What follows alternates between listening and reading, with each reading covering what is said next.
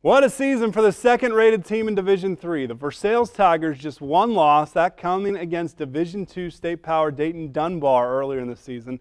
Versailles looking to wrap up an outright MAC title against St. Henry in a game you can watch tomorrow at 9 p.m. on WOSN. I know Mike Lee was looking forward to that one. He had the call along with Justin Kinner down south. Versailles strikes first. Alex Wendell gets the lob and he lays it in. Then it's Wendell again, this time making a nice move down low. Mr. Wendell. More post play. Keaton McEldowney, baseball standout, pretty good basketball player too. Off the window, then Versailles playing defense. The steal, and Justin Ahrens gets ahead of the pack, lays it in, plus the foul. More from Ahrens.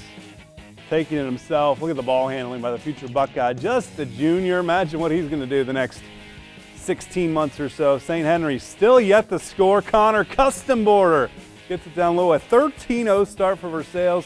There you're outright MAC champ, 61-36 to final. McEldowney 16 points, 5 rebounds, 3 assists. Wendell gets 16 as well.